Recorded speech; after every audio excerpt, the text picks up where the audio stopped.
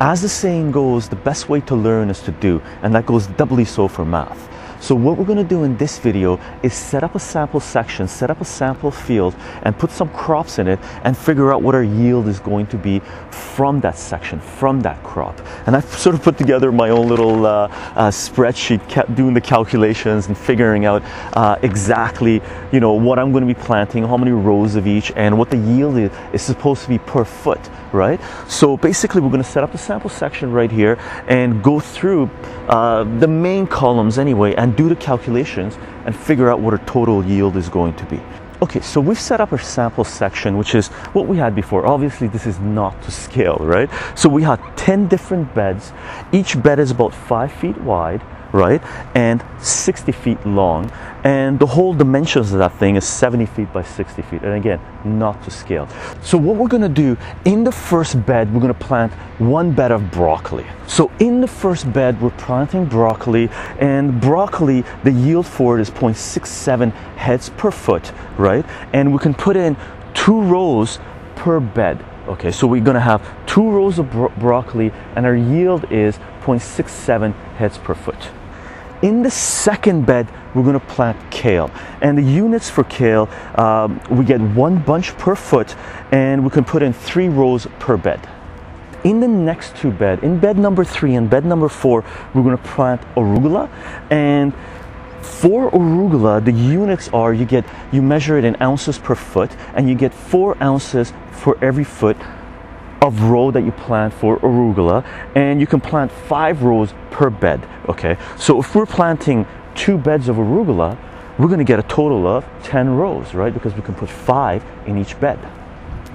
In bed number five six and seven we're going to plant spinach because we like spinach, right? And the specs for spinach are you get again four ounces per foot, and you can plant five rows per bed. So if we're planting three beds of spinach, we're going to get total of 15 rows of spinach, right? Now what we want to do for the next three beds, we're going to mix it up a little bit. We're not going to do complete beds because let's say we want to grow beans and we want to grow five rows of beans. The specs for beans is that you can only put three rows per bed. So what we're going to do is use bed number eight and two thirds of bed number nine to grow beans because we can put three rows, we can put three rows here and two rows here, and that takes up two thirds because if you can put three in one, it's two thirds of this bed. So we're gonna grow five rows of beans, and the specs for beans is you get 0.55 pounds per foot. Now, the last thing that we're gonna plant, we're gonna plant green onions in bed number 10 and a third, whatever's left of bed number nine.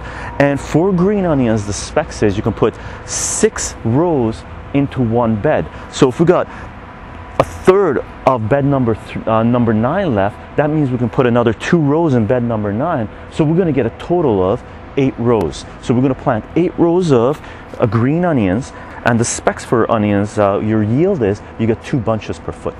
So right now, this is our section that we've planted and uh, basically our field that we planted and we have to figure out what the yield of the stuff is going to be, right?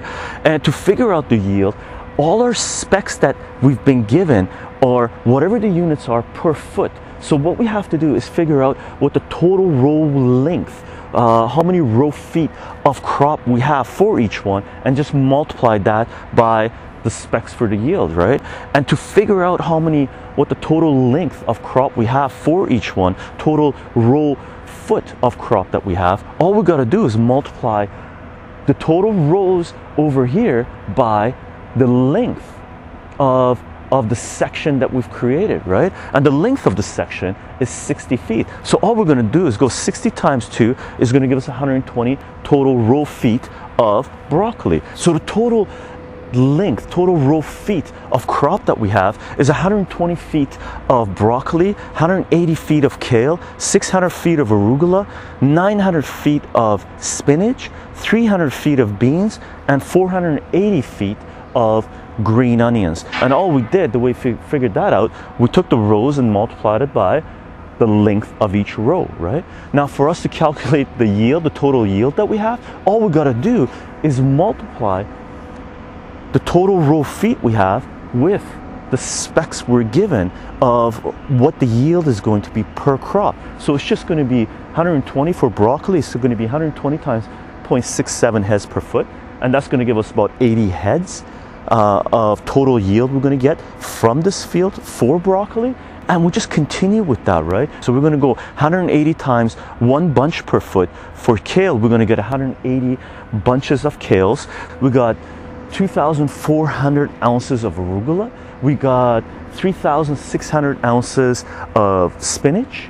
We got 165 pounds of beans.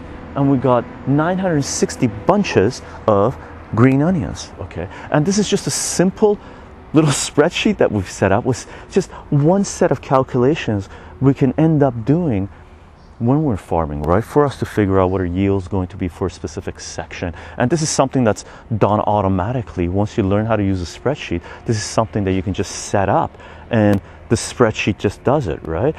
You put in formulas per cell and it just goes through and you know, you put in your specs and it does all the calculations and gives you a total yield, right?